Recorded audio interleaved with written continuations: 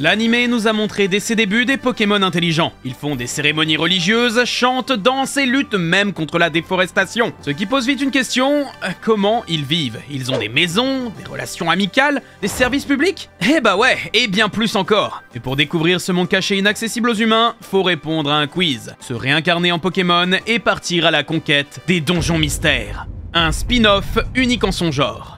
Sorti il y a presque 20 ans, Équipe de secours rouge et bleu est le jeu secondaire de Pokémon le plus vendu de l'histoire. 5,8 millions de copies juste devant Stadium et Pinball. Il y a plein de raisons à ce succès, que ce soit son gameplay, simple à comprendre avec des défis corsés, ou même son histoire. On se transforme en Pokémon pour explorer un monde original dépourvu d'humains, le paradis furie. Et ça continue une fois la quête principale terminée. Il y a tout un scénario post-game, de nouveaux donjons à affronter, des quêtes pour découvrir un peu plus nos personnages préférés, la durée de est titanesque, la rejouabilité infinie. On est très loin de la série principale, et en même temps, on n'est pas totalement dépaysé. On retrouve le côté collection, avec plein de Pokémon à recruter dans son équipe, et des combats au tour par tour. Une formule plutôt classique pour les RPG, modernisée par Honkai Star Rail, qui sponsorise cette vidéo. Le nouveau jeu de Hoyoverse, les créateurs de Genshin Impact. Rejoignez 30 millions de joueurs à bord de l'Astral Express, pour un univers mélangeant science-fiction et fantasy. Il y a tout un scénario, mais ma grande mission à moi, c'est de compléter le Waifu Dex. Comme Régis dans l'animé. Plus de 20 personnages jouables, tous avec leurs particularités, comme Tingyun, la renarde électrique. Un support incroyable pour booster les dégâts. Ça m'a aidé pour venir à bout de l'univers Simulé 4 et son boss faible à la foudre. Car oui, va falloir réviser votre table des types. Les possibilités sont infinies. Construisez la team de vos rêves et affrontez les dangers d'un monde semi-ouvert, rempli de trésors, d'énigmes et d'ennemis surpuissants. Enrichi à chaque mise à jour, là, un point a apporté le très attendu événement musée de Bellobog. De quoi en apprendre plus sur la planète Jarilovi et son hiver éternel. La deuxième partie commence aujourd'hui avec l'arrivée du nouveau personnage 5 étoiles, Luocha, un mystérieux marchand venu de par-delà les mers, le gendre idéal. Si on oublie qu'il se balade avec un cercueil sur le dos. Sa plus grande force, c'est son ultime. Ça retire un buff à tous vos adversaires avec en bonus des gros dégâts en zone. L'un des seuls îles du jeu, doté du très rare élément imaginaire. Le jeu est disponible gratuitement sur PC, mobile et bientôt sur PlayStation. Pour l'occasion, on vous offre un bonus. Profitez-en, ça soutient la chaîne. Encore merci à Oyoverse. N'attendez plus, téléchargez Honkai Star Rail, le lien en description. Les spin-offs de Pokémon ont toujours été des jeux uniques. Stadium, Rangers, Conquest, pas de deuxième version. Seule exception, les deux premiers donjons mystères. Car oui, c'est la seule série de spin-off à faire ça. Mimétisme de la saga principale pour se faire plus d'argent Pour équipe de secours, on a bleu, carapuce, rouge, salamèche. Euh, c'est flag. Sauf que... Pas du tout. À l'époque, la DS n'a même pas un an. Beaucoup de jeunes joueurs sont encore sur Game Boy. Nintendo fait donc le choix de développer deux versions, une pour chaque console. Avec des Pokémon exclusifs, bien sûr. Alors qu'il n'y a pas d'échange. En plus, les joueurs de la DS se font bien avoir. Ils ont Porygon 2 contre Porygon sur rouge, qu'on peut faire évoluer. Ça vous enrage? Rassurez-vous. Rentrer certains codes dans le menu permet d'obtenir les Pokémon exclusifs de l'autre version. Mais ce que beaucoup ignorent, c'est qu'il est en fait possible de faire des échanges, en mettant les deux cartouches dans une DS. Apporte son équipe de rouge, vert, bleu pour l'affronter dans un donjon spécial et la recruter. La version bleue avait une autre particularité, une connectivité avec Pokémon Trozei, l'ancêtre de Café Remix. Équipe de secours va marquer les mémoires et devenir le premier spin-off à avoir le droit à un remake. Et le seul pour l'instant, New Pokémon Snap étant officiellement une suite. Les similarités avec la série principale ne s'arrêtent pas là. On a eu des produits dérivés et plusieurs épisodes animés. Le premier a été créé et diffusé pour la promotion des jeux aux États-Unis. Les Japonais l'ont découvert six mois plus tard. Du jamais vu. Il y a aussi un manga qui retrace les événements du jeu en prenant quelques libertés. Pas de météorites, les catastrophes naturelles sont provoquées par Groudon, Ectoplasma se sacrifie dans le combat final et surtout, le héros redevient humain à la fin. Encore plus fort, on a eu une version complémentaire, comme Emerald, Crystal ou encore Platine. Ici, Explorateur du ciel, une version améliorée d'Explorateur du temps et de l'ombre, deuxième jeu de la série. Très apprécié par les fans, 4,8 millions de ventes, 6,4 en rajoutant la troisième cartouche. Passons alors devant Équipe de secours, suivi par les donjons de l'infini sur 3DS,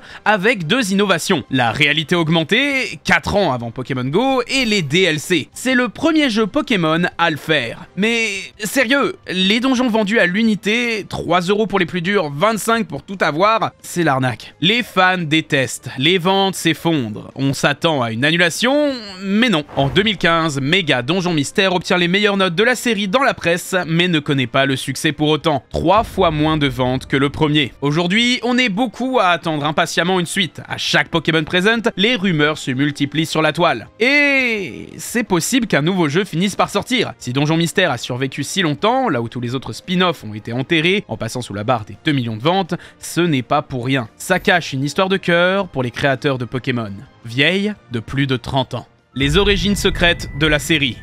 Donjon Mystère a existé avant Pokémon. Début 90, un des créateurs de Dragon Quest, un RPG ultra populaire au Japon, tombe amoureux d'un jeu, Rogue. Un très lointain ancêtre de Binding of Isaac, Rogue Legacy ou Darkest Dungeon. On explore des donjons aléatoires, chaque mort est définitive, et ça ressemble à ça. Le héros est un arrobase, les potions, des points d'exclamation. Il décide alors de reproduire le jeu, sauf que personne ne comprend l'intérêt. Pourquoi mourir en boucle dans un donjon? Faut moderniser la formule, rendre le genre plus accessible c'est là qu'arrive l'idée de génie, faire du marchand de Dragon Quest IV le personnage principal. Il est déjà apprécié par les fans et sa cupidité justifie son envie de descendre dans un donjon. Quand il arrive à en sortir en vie, il améliore sa maison, sa boutique et devient plus fort. C'est ainsi qu'est créé en 1993 le premier donjon mystère, deux ans avant Pokémon Rouge et Vert. Et ça ressemble déjà beaucoup à ce qu'on connaît. C'est un énorme succès avec des suites et un spin-off de Final Fantasy où on incarne un chocobo.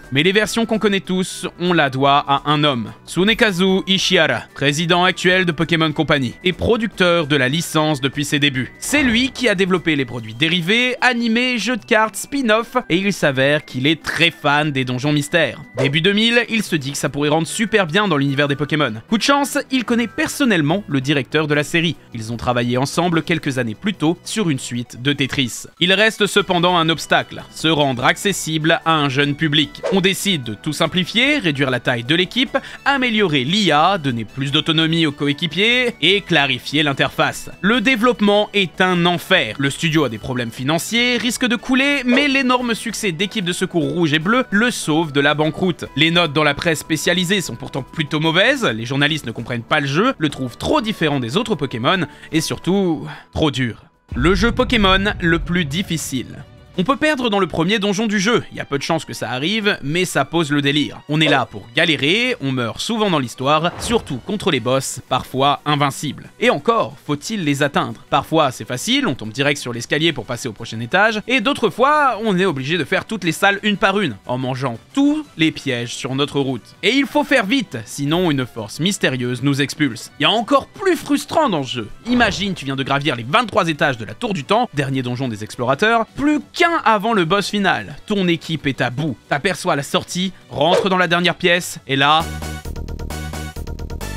t'es condamné à recommencer. Heureusement que les donjons d'histoire ont des checkpoints, seulement 10 étages à refaire. Mais si t'as trop rushé pendant l'aventure, tu risques, comme moi, de te retrouver bloqué dans un donjon trop difficile pour toi. Faute à un niveau trop bas ou à un manque d'objets essentiels. Les devs en avaient conscience et ont donc intégré du multijoueur. Nos amis viennent nous sauver, nous apporter des provisions grâce à un système de lettres miracles, des codes faciles à s'échanger dans la cour d'école, griffonnés sur un bout de papier. Mais que faire pour ceux qui sont seuls? Dans les premières versions, on avait le donjon inconnu, un mode AFK où l'on recrutait des Pokémon au hasard et où on obtenait des objets rares. C'était pas très fun. Les portes de l'infini proposaient donc une nouvelle mécanique, la Magna Porta, basée sur la réalité augmentée. On génère des donjons aléatoires en scannant des objets ronds pour rendre nos Pokémon plus forts. La difficulté et le nombre d'étages dépendent de leur taille. Alors, quel monstre se cache sous cette bouche d'égout? Les choses sérieuses commencent une fois l'histoire principale terminée. On accède alors à un énorme contenu, les quêtes les plus difficiles, un nouveau scénario original, qui prend plusieurs dizaines d'heures à compléter, avec des donjons hardcore jusqu'à 99 étages. Dans équipe de secours, les plus difficiles sont la grotte des vœux, nécessaire pour attraper Jirachi, la forêt pureté pour Celebi et la tour bonheur. Tous vos Pokémon sont ramenés au niveau 1, sans talent ni objet. Mais on n'est pas seul pour les affronter, on peut compter sur tous nos amis Pokémon qui ont accès à l'évolution une fois l'histoire finie. On se crée une équipe de rêve qui dépend beaucoup de la version, seuls 22 sont communs à toutes les versions du jeu. Les autres changent à chaque fois. Sauf dans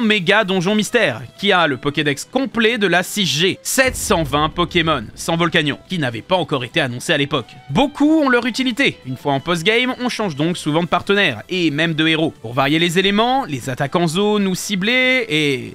le sexe Ouais, dans les explorateurs, il y a une mécanique cachée. Les mâles ont une chance de critique augmentée. Les femelles ont un boost en évasion et précision. Ok, mais comment choisir le sexe de nos alliés? Eh bien, tout dépend de l'étage où vous les rencontrez. Un père, c'est souvent un mâle. Père, une femelle. Et pour les neutres, ça dépend, mais le plus souvent, ils ont les mêmes avantages que les mâles. C'est essentiellement des légendaires qui, dans Donjon Mystère, ont apparemment un genre. On le voit dans les cinématiques, Celebi parle d'elle au féminin, Manafi au masculin. Reste un dernier élément important, QI, capacité commune, Félite, des effets passifs partagés par plusieurs Pokémon qui donnent d'incroyables bonus en donjon. Seule exception, le bulldozer tout-terrain, talent signature de Palkia dans les explorateurs. C'est beaucoup trop fort, il peut traverser n'importe quelle case et même détruire les murs sans consommer d'endurance. Une fois plusieurs équipes créées et optimisées, le jeu devient bien plus facile, surtout que les suites ont une tendance à baisser le niveau de difficulté. Ce qui ne l'a pas mis à l'abri des critiques, les journalistes pointant du doigt un autre défaut. Les donjons mystères ont toujours la même histoire. C'est le plus gros reproche fait à la série, son manque de renouvellement. On arrive dans un monde de Pokémon, on rencontre un ami, on part sauver des gens, affronter des méchants avant d'être trahi et puis de fuir, pour enfin révéler la vérité grâce à tous nos amis. À la fin, on nous propose de retourner chez nous, mais on choisit de rester. C'est toujours le même fil narratif, et c'est voulu. Le scénariste de la série, Shinichiro Tomi, vise l'efficacité, rester compréhensible par les plus jeunes et donner la liberté de s'imaginer sa propre aventure pour accentuer l'immersion. Renforcé par une idée de génie, un avatar humain amnésique transformé en Pokémon, façonné par un quiz de personnalité, qui fait de nous le héros du jeu. Et pour donner de la vie au monde qui nous entoure, Donjon Mystère a un secret, des personnages inoubliables, avec leurs histoires, émotions et évolutions, souvent des Pokémon moins populaires, comme Gros Doudou,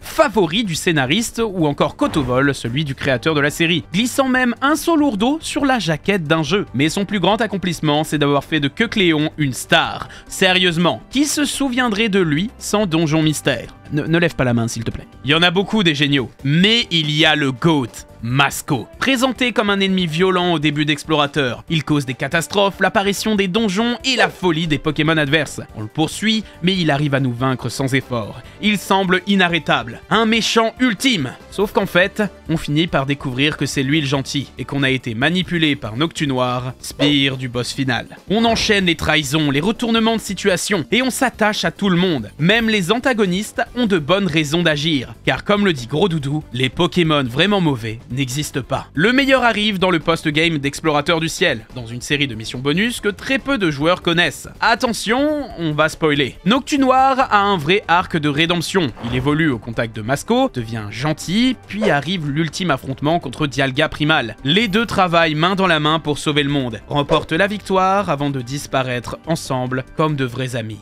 Masco, dis-moi, tout ce que j'ai accompli, se souviendra-t-on de moi Oui, pour toujours. Et quand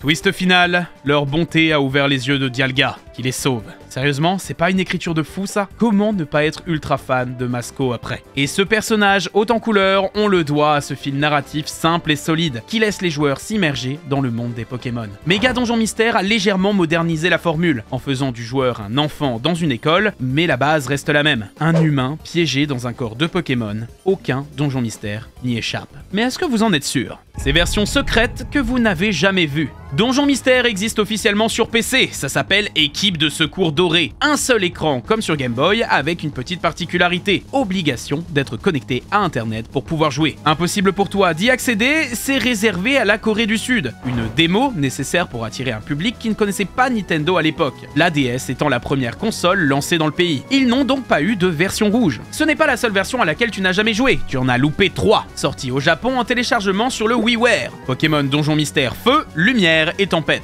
Ça valait une dizaine d'euros et tu ne pourras jamais y jouer légalement, le service a été stoppé en 2019. Le jeu est plus court que ses prédécesseurs, une petite quinzaine de donjons différents pour chaque version, avec quelques ajouts en téléchargement bien sûr. L'histoire est bien plus simple, centrée sur un type, le feu, l'électrique ou l'eau. C'est le premier de la série à utiliser la 3D, à avoir un héros qui n'est pas un humain, à rendre possible l'évolution en donjon, à empiler des Pokémon les uns sur les autres, euh, ok, à être annoncé officiellement dans un McDo. Ah, et aussi à proposer la capture de Shiny. Bon, c'est pas incroyable, ça se limite à 36 Pokémon, avec une chance sur 4096 d'avoir un modèle brillant, mais ce n'est pas qu'un changement visuel. Les chromatiques ont une endurance doublée. Leur rareté les rend inaccessibles à la majorité des joueurs. Heureusement, 5 étaient disponibles via des codes, dont Leviator, distribué pour fêter les remakes de la 2G. La mécanique sera reprise des années plus tard dans Équipe de secours DX, le dernier jeu sorti, qui a réussi l'exploit d'approcher la barre des 2 millions de ventes. C'est bien la preuve que la licence n'est pas morte et continue de faire les fans. Une suite est toujours possible, surtout que les voyages temporels dimensionnels sont très à la mode dans la série principale depuis quelques générations. Beaucoup de mystères sont encore à résoudre, comme le rôle des humains aperçus dans les explorateurs. Il y a beaucoup de théories sur le sujet, assez pour en parler dans une autre vidéo. Donjon Mystère est une série chère à notre cœur, avec, on l'assume, les meilleurs personnages et histoires tous jeux Pokémon confondus. Qui n'a pas pleuré à la fin de l'un des jeux quand tu dois disparaître et laisser ton ami derrière toi? On aimerait vous en parler plus, alors si ça vous intéresse, abonnez-vous, pouce bleu et commentez pour nous dire que vous aimeriez voir plus de vidéos à ce sujet à l'avenir.